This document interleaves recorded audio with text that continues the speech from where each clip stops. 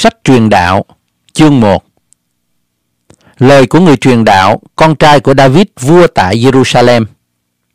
Người truyền đạo nói, hư không của sự hư không, hư không của sự hư không, thảy đều hư không. Các việc lao khổ loài người làm ra dưới mặt trời thì được ích lợi chi? Đời này qua, đời khác đến, nhưng đất cứ còn luôn luôn. Mặt trời mọc, mặt trời lặn, nó lật đật trở về nơi nó mọc. Gió thổi về hướng nam, kế xây qua hướng bắc. Nó xây đi vần lại không ngừng, rồi trở về vòng cũ nó. Mọi sông đều đổ vào biển, sông không hề làm đầy biển. Nơi mà sông thường chảy vào, nó lại chảy về đó nữa. Muôn vật thảy đều lao khổ. Loài người không thể nói ra được. Mắt không hề chán ngó, tai chẳng hề nhàm nghe. Điều chi đã có, ấy là điều sẽ có. Điều gì đã làm, ấy là điều sẽ làm nữa. Chẳng có điều gì mới ở dưới mặt trời. Nếu có một vật chi mà người ta nói rằng, hãy xem cái này mới. Vật ấy thật đã có rồi trong các thời đời trước ta. Người ta chẳng nhớ các đời trước và các đời sau, những người đến sau cũng sẽ chẳng nhớ đến nữa. Ta là người truyền đạo, đã làm vua Israel tại Jerusalem.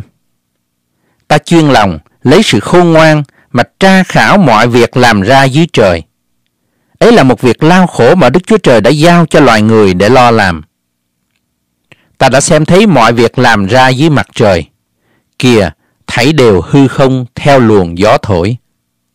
Vật chi đã cong vẹo, không thể ngay lại được, và vật gì thiếu, không thể đếm được. Ta nói trong lòng rằng, Này, ta đã được sự khôn ngoan lớn hơn hết thảy những người ở trước ta tại Jerusalem. Thật lòng ta đã thấy nhiều sự khôn ngoan và tri thức. Ta cũng chuyên lòng học biết sự khôn ngoan và biết sự ngu dại điên cuồng. Ta nhìn biết điều đó cũng là theo luồng gió thổi. Vì nếu sự khôn ngoan nhiều, sự phiền não cũng nhiều. Ai thêm sự tri thức, thêm sự đau đớn. Chương 2 Ta lại nói trong lòng rằng, Hè, hãy thử điều vui sướng và nếm sự khoái lạc. Kìa, điều đó cũng là sự hư không. Ta nói, cười là điên, vui sướng mà làm chi. Ta nghĩ trong lòng rằng phải uống rượu để cho thân mình vui sướng, mà sự khôn ngoan vẫn còn dẫn dắt lòng ta. Lại nghĩ, phải cầm lấy sự điên dại cho đến khi xem thử điều gì là tốt hơn cho con loài người làm ở dưới trời trọn đời mình sống. Ta làm những công việc cả thể. Ta cất nhà cho mình, trồng vườn nho cho mình, lập cho mình vườn cây trái và vườn hoa và trồng cây trái đủ thứ ở đó. Ta đào hồ chứa nước đặng tưới rừng là nơi cây cối lớn lên. Ta mua những tôi trai tớ gái, lại có nhiều đầy tớ sinh ra trong nhà ta. Ta có bầy bò và chiên nhiều hơn hết thảy những người ở trước ta tại Jerusalem. Ta cũng thâu chứa bạc vàng và những vật báu của các vua các tỉnh. Ta lo sắm cho mình những con hát trai và gái cùng sự khoái lạc của con trai loài người, tức là nhiều vợ và hầu. Như vậy, ta trở nên cao trọng hơn hết thảy những người ở trước ta tại Jerusalem. Dầu vậy, sự khôn ngoan vẫn còn ở cùng ta. Ta chẳng từ điều gì mắt mình ước ao, cũng chẳng cấm điều gì lòng mình ưa thích. Vì lòng ta vui vẻ vì mọi công lao của ta, và đó là phần ta đã được trong mọi công lao ta. Đoạn, ta xem xét các công việc tay mình đã làm và sự lao khổ mình đã chịu để làm nó. Kìa, mọi điều đó là sự hư không và theo luồng gió thổi, chẳng có ích lợi gì hết dưới mặt trời. Ta bèn xây lại, đặng xem xét sự khôn ngoan, sự ngu dại và sự điên cuồng. Vì người nào đến sau vua sẽ có thể làm gì? Bất quá làm điều người khác đã làm từ lâu rồi. Vả, ta thấy sự khôn ngoan hơn sự ngu dại, cũng như ánh sáng hơn tối tăm. Người khôn ngoan có con mắt trong đầu mình, còn kẻ ngu muội bước đi trong tối tăm. Do vậy, ta nhìn thấy hai đàn cùng gặp một số phận về sau. Nên ta có nói trong lòng rằng, sự xảy đến cho kẻ dại sẽ xảy đến cho ta cũng vậy. Vậy, ta có nhiều khôn ngoan như thế mà làm chi? Ta lại nói trong lòng rằng, điều đó là một sự hư không nữa. Vì người ta chẳng nhớ người khôn ngoan đến đời đời, cũng như chẳng nhớ kẻ ngu muội. Vì trong ngày sau, cả thảy đều bị quên mất từ lâu. Phải, người khôn ngoan chết cũng như kẻ điên cuồng. Vậy, ta ghét đời sống, vì mọi việc làm ra dưới mặt trời là cực nhọc cho ta, thảy đều hư không theo luồng gió thổi. Ta cũng ghét mọi công lao ta đã làm ở dưới mặt trời, vì phải để lại cho người sau mình. Vả, ai biết rằng người ấy sẽ khôn ngoan hay là ngu dại? Dầu thế nào, hắn sẽ cai quản mọi việc ta đã lấy sự lao khổ và khôn ngoan mà làm ở dưới mặt trời. Điều đó cũng là hư không. Bởi cớ ấy, ta trở lòng thất vọng về mọi công việc ta đã lao khổ mà làm ở dưới mặt trời. Vì có người làm công việc mình cách khôn ngoan, thông sáng và tài giỏi, rồi phải để lại làm cơ nghiệp cho kẻ chẳng hề lao khổ làm đến. Điều đó cũng là một sự hư không và một sự tai nạn lớn. Vậy, ít chi cho người lao khổ, cực lòng mà làm việc ở dưới mặt trời. Vì các ngày người chỉ là đau đớn. Công lao người thành ra buồn rầu. Đến đổi, ban đêm lòng người cũng chẳng được an nghỉ. Điều đó cũng là sự hư không. Chẳng gì tốt cho người hơn là ăn, uống, khiến linh hồn mình hưởng phước của lao khổ mình. Ta xem thấy điều đó cũng bởi tay Đức Chúa Trời mà đến.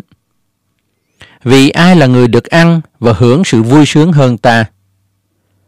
Bởi Đức Chúa Trời ban sự khôn ngoan, thông sáng và vui vẻ cho kẻ nào đẹp lòng Ngài.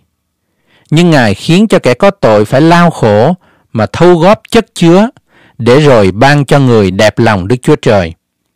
Điều đó cũng là sự hư không theo luồng gió thổi. Chương 3 Phàm sự gì có thì tiết, mọi việc dưới trời có kỳ định. Có kỳ sinh ra và có kỳ chết. Có kỳ trồng và có kỳ nhổ vật đã trồng. Có kỳ giết và có kỳ chữa lành. Có kỳ phá dỡ và có kỳ xây cất. Có kỳ khóc và có kỳ cười. Có kỳ than vãn và có kỳ nhảy múa. Có kỳ ném đá và có kỳ nhóm đá lại. Có kỳ ôm ấp và có kỳ chẳng ôm ấp. Có kỳ tìm và có kỳ mất. Có kỳ giữ lấy và có kỳ ném bỏ. Có kỳ xé rách và có kỳ may. Có kỳ nín lặng, có kỳ nói ra. Có kỳ yêu, có kỳ ghét. Có kỳ đánh giặc và có kỳ hòa bình. Kẻ làm việc có được ích lợi gì về lao khổ mình chăng? Ta đã thấy công việc mà Đức Chúa Trời ban cho loài người là để loài người dùng tập rèn lấy mình. Phạm vật Đức Chúa Trời đã làm nên đều là tốt lành trong thì nó.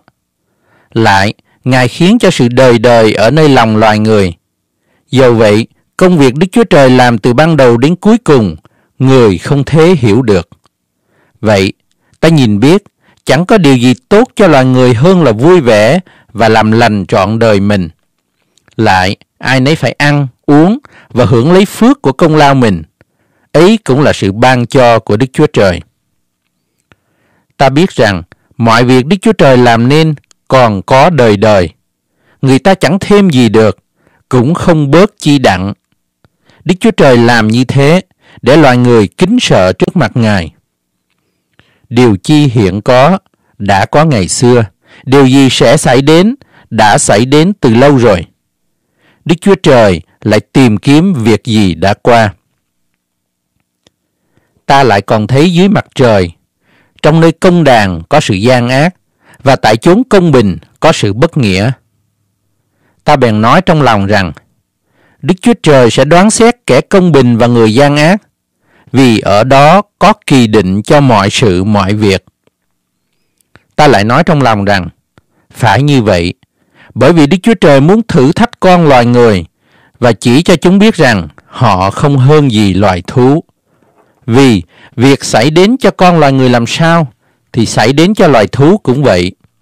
Sự xảy đến cho hai loài giống hẳn với nhau. Sự chết của loài này cũng như sự chết của loài kia. Hai loài đều thở một thứ hơi. Loài người chẳng hơn gì loài thú, vì thảy đều hư không. Cả thảy đều quy vào một chỗ. Cả thảy do bụi đất mà ra. Cả thảy sẽ trở về bụi đất. Ai biết hoặc thần của loài người thăng lên, hoặc hồn của loài thú sa xuống dưới đất. Thế thì, ta thấy chẳng chi tốt cho loài người hơn là vui vẻ trong công việc mình. Ấy là kỹ phần mình. Vì ai sẽ đem mình trở lại đặng xem thấy điều sẽ xảy ra sau mình. Chương 4 Ta xây lại, xem xét mọi sự hà hiếp làm ra ở dưới mặt trời. Kìa, nước mắt của kẻ bị hà hiếp, song không ai an ủi họ. Kẻ hà hiếp có quyền phép, song không ai an ủi cho kẻ bị hà hiếp. Vậy, ta khen những kẻ chết đã lâu rồi, là sướng hơn kẻ còn sống. Còn kẻ chưa được sinh ra, chưa thấy những gian ác làm ra dưới mặt trời, ta cho là có phước hơn hai đằng kia ta cũng thấy mọi công lao và mọi nghề khéo là điều gây cho người này kẻ khác ganh ghét nhau. Điều đó cũng là sự hư không theo luồng gió thổi. Kẻ ngu muội khoanh tay, ăn lấy thịt mình. Thà đầy một lòng bàn tay mà bình an, hơn là đầy cả hai mà bị lao khổ theo luồng gió thổi. Ta bèn xây lại xem thấy sự hư không ở dưới mặt trời. Này, một người cô độc, chẳng có ai, hoặc con trai hay là anh em. Dầu vậy, lao khổ nó không thôi, mắt nó không hề chán của cải. Nó không hề nghĩ rằng, vậy ta lao khổ, ta bắt linh hồn nhịn các phước là vì ai? Điều đó cũng là hư không, thật là công việc cực nhọc. Hai người hơn một, vì họ sẽ được công giá tốt về công việc mình. Nếu người này sa ngã, thì người kia sẽ đỡ bạn mình lên. Nhưng khốn thay cho kẻ ở một mình mà sa ngã, không có ai đỡ mình lên. Cũng vậy, nếu hai người ngủ chung thì ấm, còn một mình thì làm sao ấm được. Lại nếu kẻ ở một mình bị người khác thắng, thì hai người có thể chống cự nó. Một sợi dây đánh ba tao lấy làm khó đức. Một kẻ trẻ tuổi nghèo mà khôn hơn một ông vua già cả mà dạy, chẳng còn biết nghe lời khuyên can. Vì kẻ trẻ ra khỏi ngục khám đặng làm vua, giàu sinh ra nghèo trong nước mình. Ta thấy mọi người sống đi đi lại lại dưới mặt trời, đều theo kẻ trẻ ấy là người kế vị cho vua kia. Dân phục dưới quyền người thật đông vô số. Dầu vậy, những kẻ đến sau sẽ chẳng vui thích về người. Điều đó cũng là sự hư không theo luồng gió thổi. Chương 5 Khi ngươi vào nhà Đức Chúa Trời, hãy giữ chừng chân mình. Thà lại gần mà nghe hơn là dân của tế lễ kẻ ngu muội vì nó không hiểu biết mình làm ác. Chớ vội mở miệng ra, và lòng ngươi chớ lật đật nói lời trước mặt Đức Chúa Trời, vì Đức Chúa Trời ở trên trời, còn ngươi ở dưới đất. Vậy nên, ngươi khá ít lời. Hễ nhiều sự lo lắng, ắt sinh ra chim bao, còn nhiều lời thì sinh ra sự ngu dại. Khi ngươi khấn hứa sự gì với Đức Chúa Trời, chớ chậm mà hoàn nguyện, vì Ngài chẳng vui thích kẻ dại. Vậy, khá trả điều gì ngươi hứa. Thà đừng khấn hứa hơn là khấn hứa mà lại không trả đừng cho miệng ngươi làm cho xác thịt mình phạm tội và chớ nói trước mặt sứ giả của Đức Chúa Trời rằng ấy là lầm lỗi. Sao làm cho Đức Chúa Trời nổi giận vì lời nói ngươi và Ngài làm hư công việc của tay ngươi?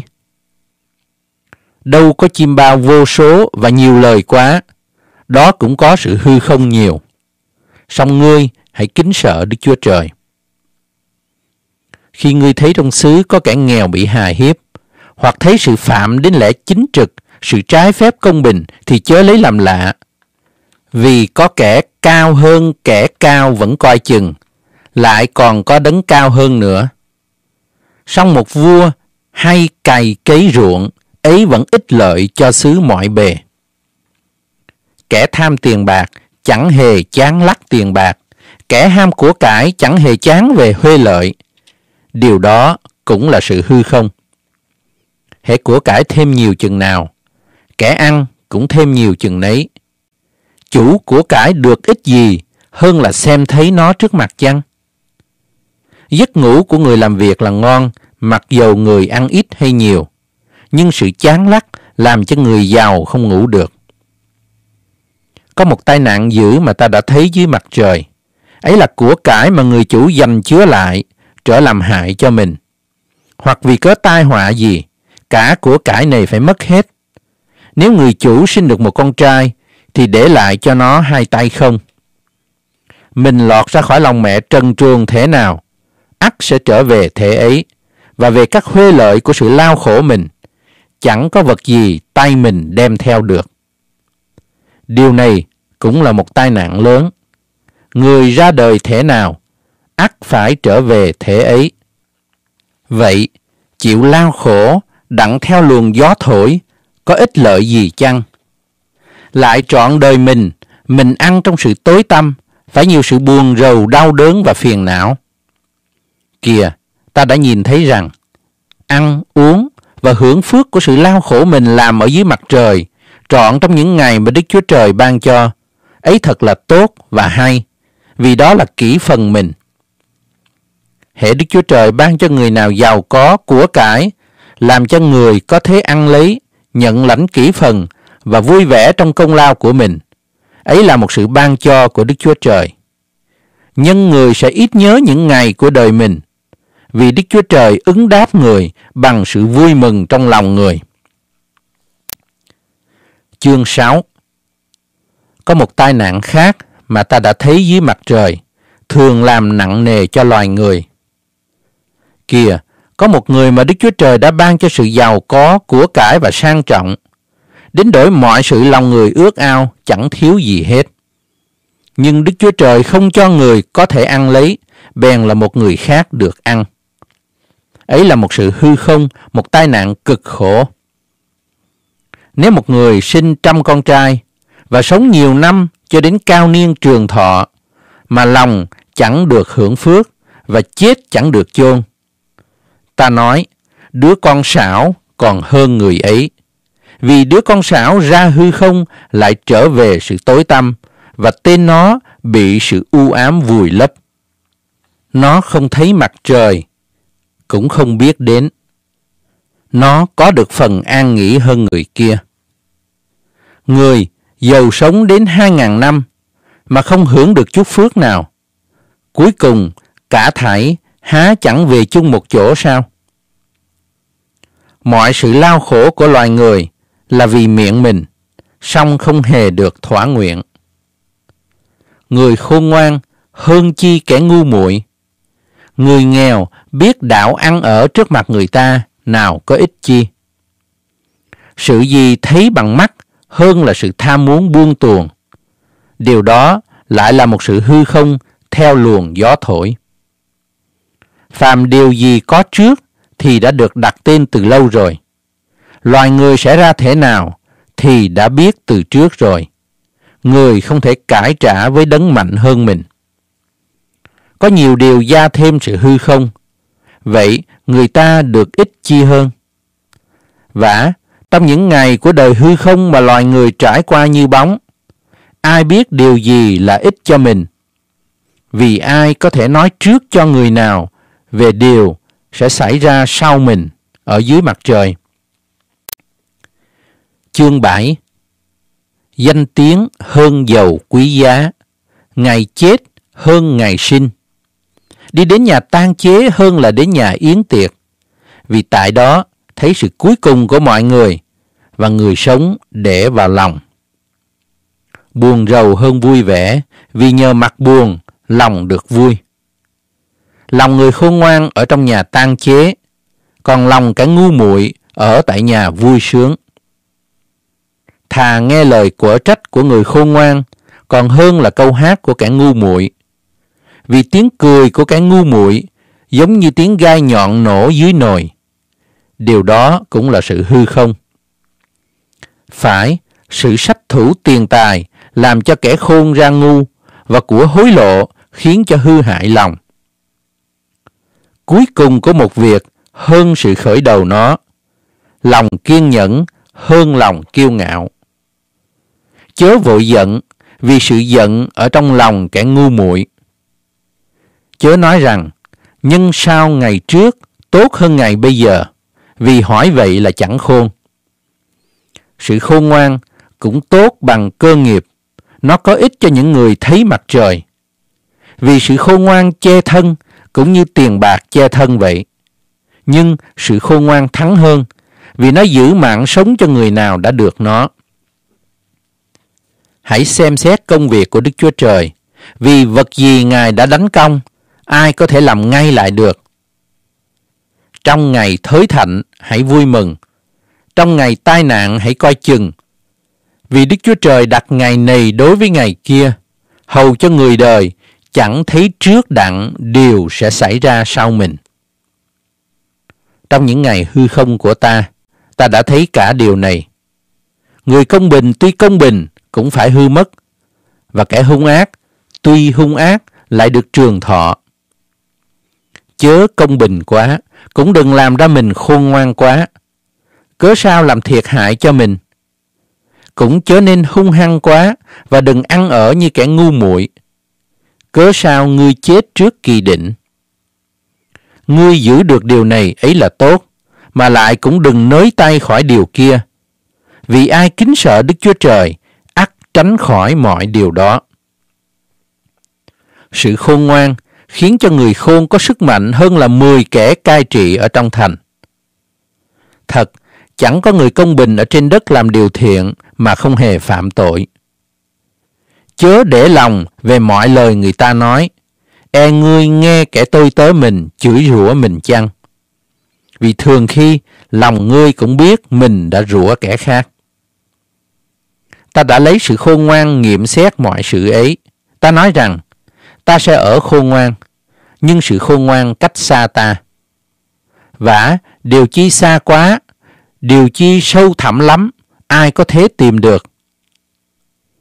Ta lại hết lòng chuyên lo cho hiểu biết, xét nét, kiếm tìm sự khôn ngoan và chánh lý muôn vật, lại cho biết rằng gian ác là dại dột và sự dại dột là điên cuồng. Ta tìm thấy một điều cay đắng hơn sự chết. Ấy là một người đàn bà có lòng giống như lưới bẫy, tay tợ như dây tói. Ai ở đẹp lòng Đức Chúa Trời sẽ thoát khỏi nó, còn kẻ có tội sẽ bị nó vấn lấy. Kẻ truyền đạo nói, sau khi xem xét muôn sự từng điều từng vật đặng tìm chánh lý, thì này là điều ta tìm được. Ấy là lòng ta hãy còn tìm mà chưa tìm ra. Trong một ngàn người đàn ông, ta đã tìm được một người. Còn trong cả thảy người đàn bà, ta chẳng tìm được một ai hết. Nhưng này là điều ta tìm được. Đức Chúa Trời đã dựng nên người ngay thẳng, song loài người có tìm kiếm ra lắm mưu kế. Chương 8 Ai sánh được với người khôn ngoan? Ai biết giải nghĩa các vật? Sự khôn ngoan làm cho sáng sủa mắt người và đổi sắc nghiêm trang đi.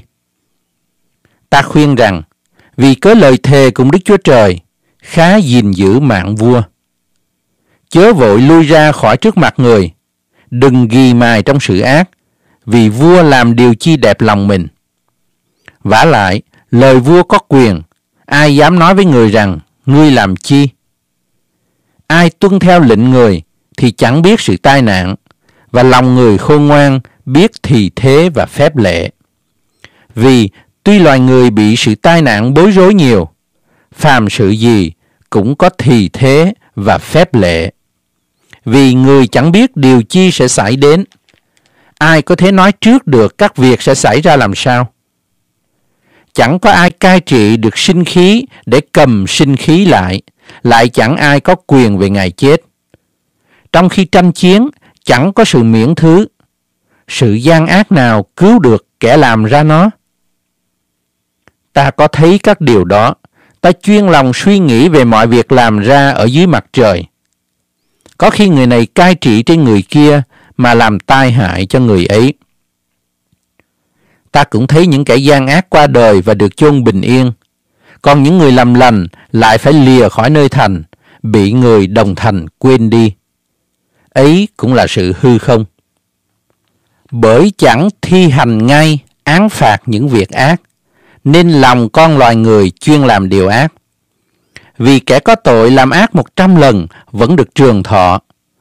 Dầu vậy ta biết rằng kẻ kính sợ trước mặt Đức Chúa Trời, sau rốt ắt được phước.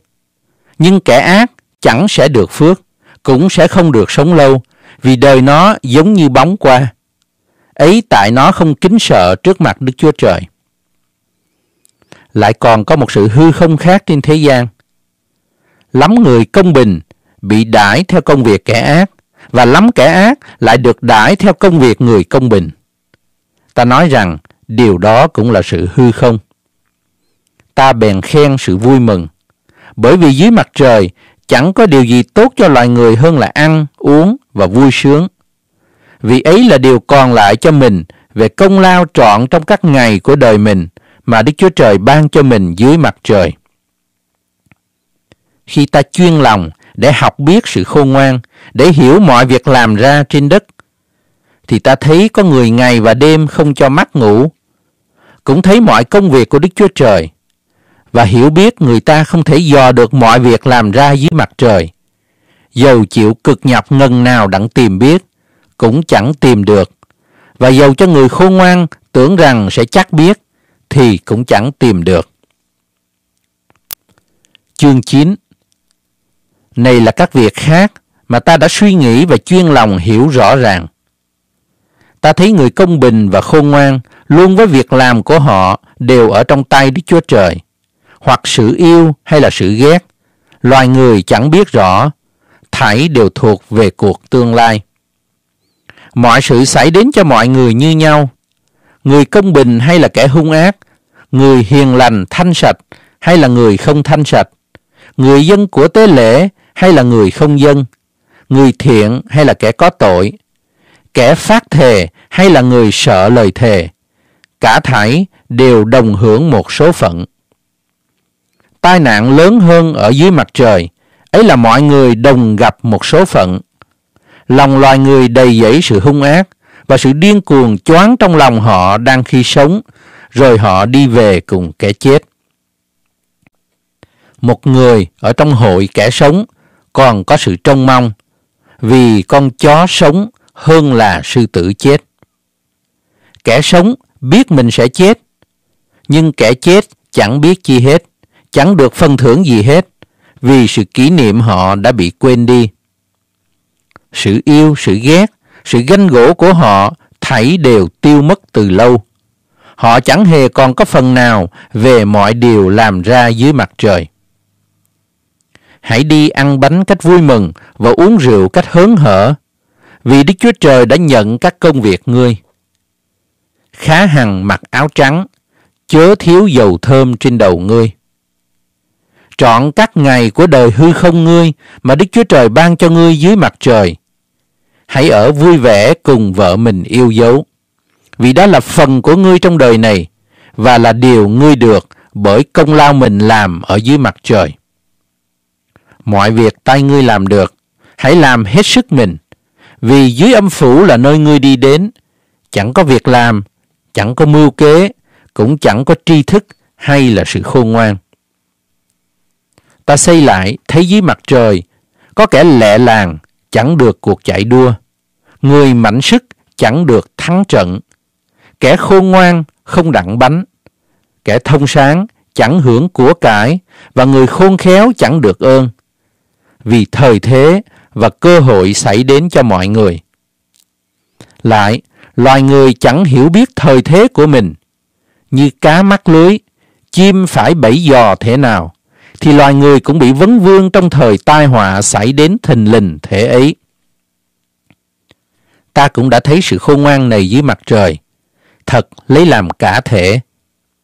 Có thành nhỏ kia, được một ít dân sự, một vua cường thạnh đến vây hãm nó, đắp những lũy cao lớn cùng nó. Và trong thành ấy có một người nghèo mà khôn, dùng sự khôn ngoan mình giải cứu thành ấy. Xong về sau, không ai nhớ đến người nghèo đó. Ta bèn nói rằng, sự khôn ngoan hơn sức mạnh, nhưng mà sự khôn ngoan của người nghèo bị khinh dễ và lời nói của người không ai nghe. Lời của người khôn ngoan được nghe tại nơi êm lặng còn hơn tiếng kêu la của kẻ cai trị trong đám dại dột. Sự khôn ngoan hơn đồ binh khí, nhưng chỉ một người có tội phá hủy được nhiều sự lành. Chương 10 Con ruồi chết làm cho thúi dầu thơm của thợ hòa hương. Cũng vậy, một chút điên dại làm nhẹ danh một người khôn ngoan sang trọng. Trái tim của người khôn ở bên hữu, còn trái tim của kẻ dại ở bên tả. Lại khi kẻ dại đi đường, rõ ra là thiếu mất lẽ phải. Nó nói cho mọi người rằng mình là kẻ dại.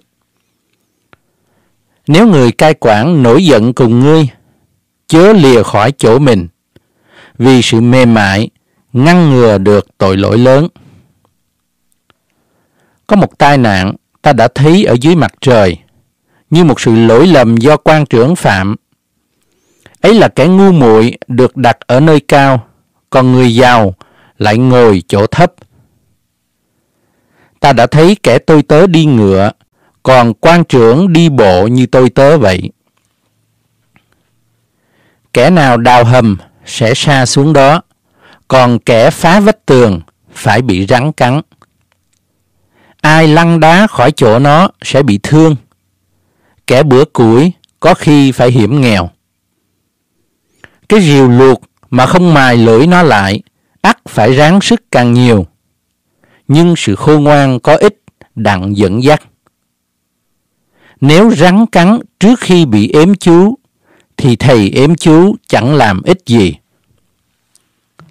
Lời của miệng người khôn ngoan có ơn, nhưng môi của kẻ khờ dại lại nuốt lấy nó. Lời nói của miệng nó khởi đầu là ngu dại, cuối cùng vẫn điên cuồng, nguy hiểm. Kẻ ngu muội hay nói nhiều lời. dầu vậy, người ta chẳng biết điều sẽ xảy đến và ai là kẻ tỏ ra được cho nó sự sẽ có sau mình. Công lao kẻ ngu muội làm cho mệt nhọc chúng nó, vì chẳng biết phải bắt đường nào đặng đi đến thành. Hỡi xứ, khốn thay cho mày, khi có vua còn thơ ấu, và các quan trưởng mày ăn từ lúc buổi sáng. Hỡi xứ, phước cho mày, khi có vua là dòng cao sang, và các quan trưởng mày ăn theo giờ xứng đáng để bổ sức lại, chứ chẳng phải để đắm say tại tay làm biến nên giường nhà sụp, vì tay nhát nhớn nên nhà dột. Người ta bày tiệc đặng vui chơi, rượu khiến cho đời vui, có tiền bạc thì ứng cho mọi sự. Dầu trong tư tưởng ngươi, cũng chớ nguyền rủa vua. Dầu trong phòng ngủ ngươi, cũng chớ rủa xả kẻ giàu có. Vì chim trời sẽ đồn ra tiếng ngươi, và loài có cánh sẽ thuật việc ra. Chương 11 Hãy liệng bánh ngươi nơi mặt nước, vì khỏi lâu ngày ngươi sẽ tìm nó lại. Hãy phân phát nó cho bảy hoặc cho tám người, vì ngươi không biết tai nạn nào sẽ xảy ra trên đất. Khi mây đầy nước, nó bèn mưa xuống đất. Khi một cây ngã về hướng Nam hay về hướng Bắc, hễ ngã chỗ nào, nó phải ở chỗ đó. Ai xem gió sẽ không gieo, ai xem mây sẽ không gặt. Người không biết đường của gió đi, cũng không biết xương cốt kết cấu trong bụng đàn bà mang thai thế nào. Thì cũng một thể ấy, ngươi chẳng hiểu biết công việc của Đức Chúa Trời là đấng làm nên muôn vật. Vừa sáng sớm, khá gieo giống ngươi, và buổi chiều chớ nghĩ tay ngươi. Vì ngươi chẳng biết giống nào sẽ mọc tốt, hoặc giống này, hoặc giống kia, hoặc là cả hai đều sẽ ra tốt. Ánh sáng thật là êm dịu, con mắt thấy mặt trời lấy làm vui thích. Nếu một người được sống lâu năm, thì khá vui vẻ trong trọn các năm ấy. Song cũng chớ quên những ngày tối tăm, vì những ngày ấy nhiều. Phàm việc gì xảy đến đều là sự hư không. Hỡi kẻ trẻ kia, hãy vui mừng trong buổi thiếu niên, khá đem lòng hớn hở trong khi còn thơ ấu. Hãy đi theo đường lối lòng mình muốn và nhìn xem sự mắt mình ưa thích. Nhưng phải biết rằng, vì mọi việc ấy, Đức Chúa Trời sẽ đòi ngươi đến mà đoán xét. Vậy, khá giải sầu khỏi lòng ngươi và cất điều tai hại khỏi xác thịt ngươi. Vì lúc thiếu niên và thì xuân xanh là sự hư không mà thôi. Chương 12 Trong buổi còn thơ ấu, hãy tưởng nhớ đấng tạo hóa ngươi. Trước khi những ngày gian nan chưa đến, trước khi những năm tới mà ngươi nói rằng, ta không lấy làm vui lòng. Trước khi ánh sáng mặt trời, mặt trăng và các ngôi sao chưa tối tăm, và mây chưa lại tuôn đến sau cơn mưa. Trong ngày ấy, kẻ giữ nhà run rẩy, những người mạnh sức cong khom, kẻ say cối ngừng lại bởi vì số ít. Những kẻ trông xem qua cửa sổ đã làng mắt.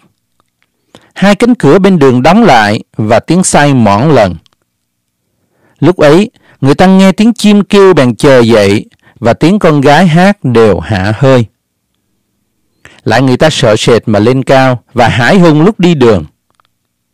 Lúc ấy, cây hạnh trổ bông, cao cao trở nên nặng và sự ước ao chẳng còn nữa. Vì bây giờ người đi đến nơi ở đời đời của mình, còn những kẻ tan chế đều đi vòng quanh các đường phố. Lại hãy tưởng nhớ đấng tạo hóa, trước khi dây bạc đứt và chén vàng bể, trước khi vò vỡ ra bên suối và bánh xe gãy ra trên giếng, và bụi tro trở vào đất y như nguyên cũ, và thần linh trở về nơi Đức Chúa Trời, là đấng đã ban nó. Kẻ truyền đạo nói, hư không của sự hư không, mọi sự đều hư không vả lại, bởi vì kẻ truyền đạo là người khôn ngoan, nên cũng cứ dạy sự tri thức cho dân sự. Người đã cân nhắc, tra soát và sắp đặt thứ tự nhiều câu châm ngôn. Kẻ truyền đạo có chuyên lo tìm kiếm những câu luận tốt đẹp và các lời đã viết ra đều là chính trực và chân thật. Lời của người khôn ngoan giống như đót, sắp chọn các câu châm ngôn khác nào đinh đóng chặt. Nó do một đấng chăn chiên mà truyền ra. Lại hỡi con, hãy chịu dạy. Người ta chép nhiều sách chẳng cùng, còn học quá thật làm mệt nhọc cho xác thịt. Chúng ta hãy nghe lời kết của lý thuyết này. Khá kính sợ Đức Chúa Trời và giữ các điều răn Ngài. Ấy là trọn phận sự của ngươi. Vì Đức Chúa Trời sẽ đâm đoán xét các công việc, đến đổi việc kín nhiệm hơn hết, hoặc thiện, hoặc ác cũng vậy.